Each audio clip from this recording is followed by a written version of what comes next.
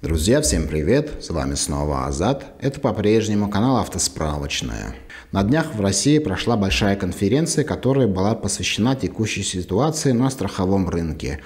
В ходе данной конференции, где приняли участие и представители Российского союза автостраховщиков, исполнительный директор РСА Сергей Ефремов рассказал о текущей статистике по мошенничеству с полисами ОСАГО. По его словам, мошенничество с полисами страховки можно разделить на две большие группы.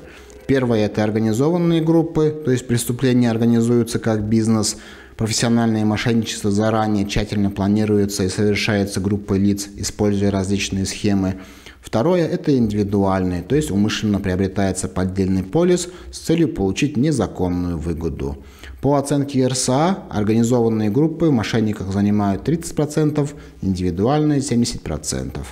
При этом, согласно статистике этого же Российского союза автостраховщиков, порядка 89% случаев мошенничества по направленным заявлениям занимают как раз-таки полисы ОСАГО. Отдельно Ефремов остановился на такой теме, как полисы ОСАГО без выплат, то есть это мошеннические действия, когда страховой агент вносит в систему РСА недостоверную информацию. К примеру, занижает мощность двигателя транспортного средства, неправильно указывает регион регистрации и тому подобное.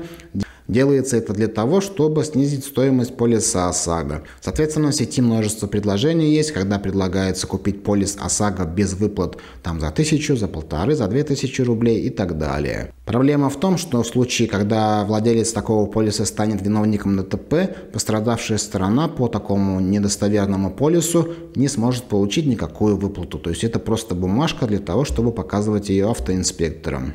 Более того, если автоинспектор в ходе проверки выявит данные о том, что полис сфальсифицированный, соответственно, водителю в таком случае грозит наказание вплоть до уголовной ответственности за подделку документов. На сегодняшний день РСА также начали бороться и с этими сайтами, которые предлагают такие полисы ОСАГО без выплат. Мероприятия по ограничению доступа в информационно-телекоммуникационных сетях к информации с предложениями о заключении договоров ОСАГО в виде электронных документов без возможности получения по ним страховых выплат, о распространении незаполненных оригинальных бланков полисов и бланков полисов ОСАГО, изготовленных не предприятиями АО «Гознак», поделился своими действиями от РСА Сергей Ефремов.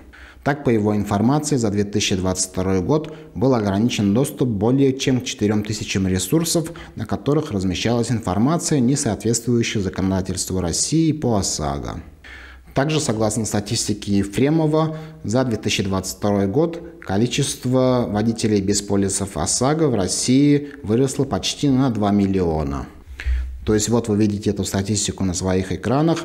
Всего по России в 2021 году было оформлено 42 миллиона 126 тысяч полисов ОСАГО, в 2022 году 40 миллионов 250 тысяч. При этом из них договора ОСАГО с премией, то есть со стоимостью полиса от 1000 до 2500 рублей в 2021 году составляло 4 миллиона 437 тысяч, в 2022 году 2 миллиона 792 тысячи. По оценке РСА, среди этих полисов до 30% вероятность мошеннических договоров.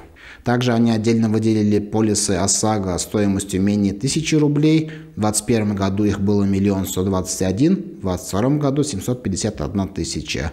Среди таких полисов до 70% вероятность того, что они мошеннические, то есть без выплат. Вот такая вот информация, то есть этой представленной статистикой РСА хочет показать то, что их действия по борьбе с данными мошенничествами, в том числе и с полисами ОСАГО без выплат, не остаются без реакции. Количество таких случаев по данным Российского союза автостраховщиков в 2022 году снижено. Вот такая вот информация. А если вам нужно купить или продлить полис ОСАГО, то в описании под этим видео я оставлю ссылку, перейдя по которой у вас появится возможность сравнить предложения от 18 страховых компаний и выбрать наиболее подходящий для вас вариант. Спасибо, что досмотрели это видео до конца. Надеюсь, оно было для вас полезным, интересным. Что вы думаете по этому поводу? Своим мнением вы, как обычно, можете поделиться в комментариях. Желаю всем безопасных дорог и всем пока.